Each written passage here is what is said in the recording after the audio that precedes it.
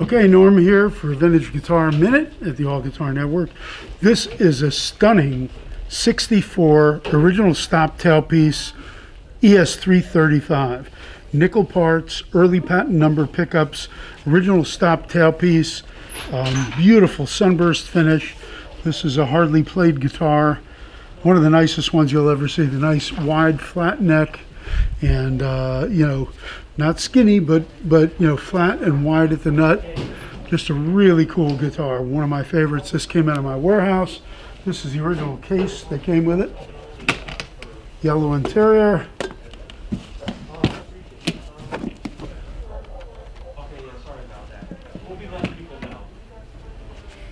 It's really beautiful so this next one is from my warehouse. This is a beautiful ES125 TDC, double pickup, sharp cutaway, the cherry sunburst finish, stunning condition.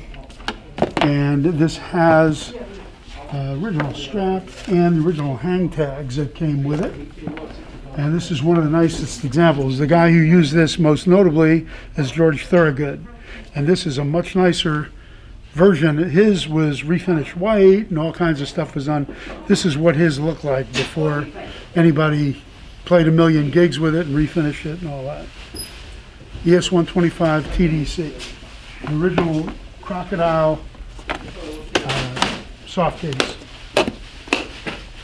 Okay, this guitar here is a first year Gibson Hummingbird 1961 beautiful condition. There was something taped over here, so there's a little bit of a shading on this, but this thing is the coolest with a wide flat neck, beautiful condition. A little marker over here, I'm not sure what that's from, but really killer. These are some of my favorite guitars.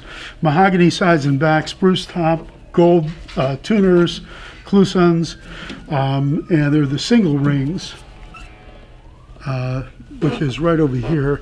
Uh, the later ones have two rings. This is a single ring set. And the original adjustable bridge, just in beautiful shape. One of my favorite models. These things always sell. Really great guitar. This is its original hard shell case.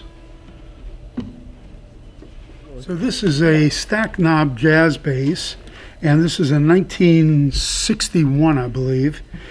And um, uh, there's a story that goes with this one. This one is actually more of a player grade bass. It's a refin, but this is a bass that I've had probably for over 40 some odd years. When we came out, my band came out from Miami to California, we ended up playing a gig at um, Mo Ostin's house, and it was for his son Randy and we played. I was mainly the Hammond organ player, and uh, we had another bass, a three knob jazz bass, but an early one, Sunburst. And what happened was we played the gig, we went outside, came back in for the next set, and our bass was gone. And uh, Little Richard and his brother managed our band, and uh, we were missing our bass, and we couldn't play. So Richard ended up buying this bass to replace the other bass for us. And this is something that's sentimental that I've had for many, many years. Great playing bass. It is a refinish, but it's it's killer. This one, we added the decal on this because this was used on some kind of TV show and they had removed the decal so they wouldn't say Fender up there. And so we put a, a repro decal on it.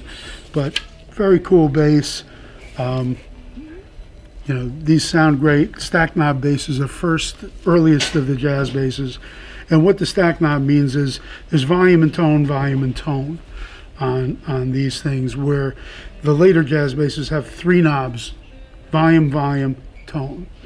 So this is a stack knob.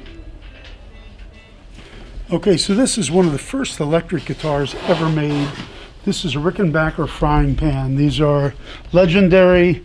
Um, it's a steel guitar uh, made in the generally the late 30s.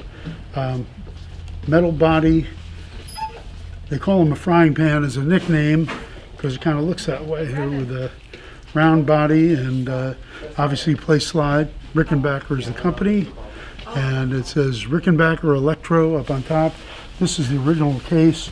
These are, this is probably the most sought after lap steel that you can get.